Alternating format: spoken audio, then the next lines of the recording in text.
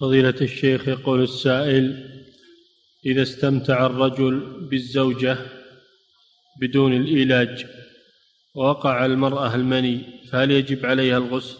إيش؟ وقع عليها المني مني منها خرج منها هي ولا من الزوج؟